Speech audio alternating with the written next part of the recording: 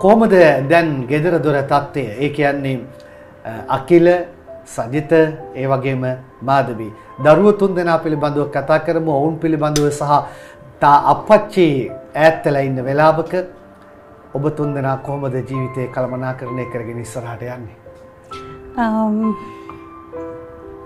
මට දරුව ගැන හිතනකොට තමයි ඇත්තටම හුඟා දුක් හිතෙන්නේ.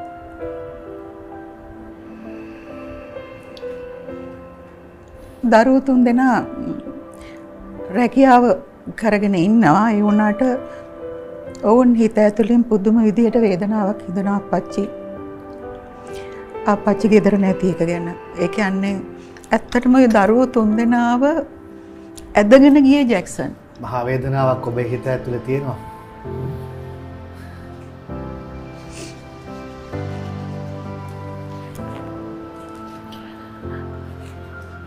ඉතින් ඔවුන් ඒ කනගාටුව දුක මැඩ පත්වගෙන ඔවුන්ගේ කලා කටයුතු කරගෙන යනවා. ඒ වගේම ඔවුන් ජීවිතය ගෙවමින් එන්නවා ඉතින් ජීවිතය ගෙවනකොට ඔවුන්ට ඒ ජීවිතය හම්වන ඔවුන්ගේ ජීවිතය හම්වන එකන්න දැන් ඒගොල්ල පවුල් තුනක්නේ. ඒ පවුල තුළ කෙරෙන්ඩ ඕන කාරණා. ඒවා මගෑරල බෑනේ. එනිසා ඒවා ඒ විදිහට පවත්වාගෙන කරගෙන යනවා. හැබැයි නිතරම ඔවුන් ඉතිං ඔවුන්ගේ දරුවන් පවා සී අතාත්තව මතක් කරනවා. ඉතින් ඔවුන් ඒ කටයුතු කරගෙන යනවා. හිත ඇතුළි වේදනාව තියාගෙන ජැක්සන් ආපහු ඉක්මනින් එන්ඩ එන්ඩ ඕන කෙනේ බලාපොරොත්තුවත් තියාගෙන ඔවුනේ කටයුතු කරගෙන යනවා.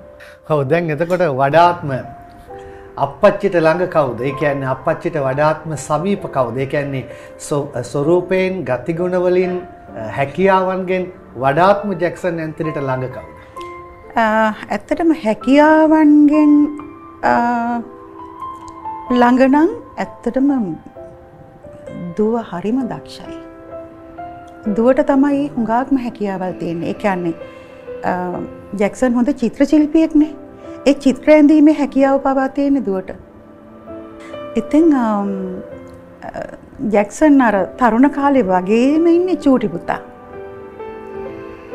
හැබැයි ජැක්සන්ගේ කටහඬ ඒ විදිහටම තියෙන්නේ අකිලට. ඉතින් මේ තුන් දෙනාම ජැක්සන්ල තමා. මාදරෙන් කියනව දරුව තුන් දෙනාම ජැක්සන්ල තමයි කියලා. එතකොට කෝ කුමාරි මුණ සිංහලා. ආ කුමාරි මුණ සිංහ ඉන්නවා. ඔය සින්දු කියන්න තුන් දෙනා ඒ මන්තවා.